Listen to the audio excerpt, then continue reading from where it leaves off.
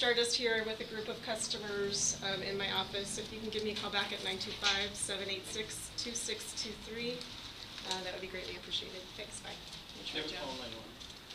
I have a call? Yep. Let me see if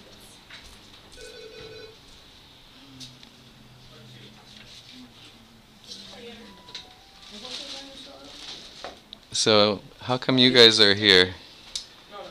I'm here. Just one sec. I'm here because uh, Wells Fargo sold my house without telling me. I had submitted a series of documents to Okay. Consumer Credit They. Counseling, which is a HUD certified counselor that Wells Fargo you funds.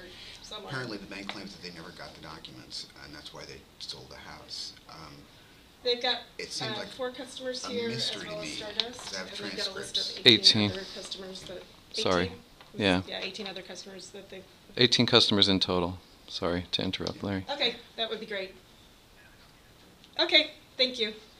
He's gonna take a cab down here, so if you guys Great. wanna just Diana, wait- this is not a trespassing thing. It's not a trespass. This is a normal course of business.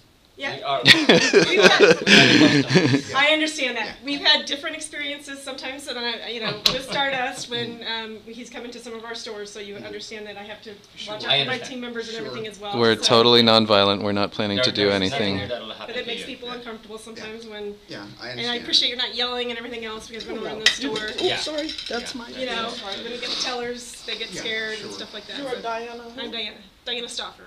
Nice to meet you. Okay, my name is Neil Yarbrough and I am an organizer with Davis. Okay, And I'm I don't not think a I've met you customer- yet. I've met Grace, but I haven't met you. Probably not, but you Yeah. probably see my- We've my probably picture. been in some meetings together. Yeah, and uh, I'm I'm Monica just here Kenny, to. again, Diana Oh, yeah, we've met Stauffer. before, okay. I didn't Sisters. recognize. We've actually People. spoken over Yeah. the phone a few times Yeah. in regards to Representing. making sure that. Yes. Um, case, my case in specific. Right. Taking didn't go notes. to litigation and Excellent. that's what I've been trying to avoid. So she called and he Um, said he would meet with us, unfortunately, correct? I've had I think so. work with He's that, taking a cab here. um, Okay. In order to, Let's see what time you it put as many people, um, into, and aware. You guys want to come in here and then you're not Sure, waiting sure, in the.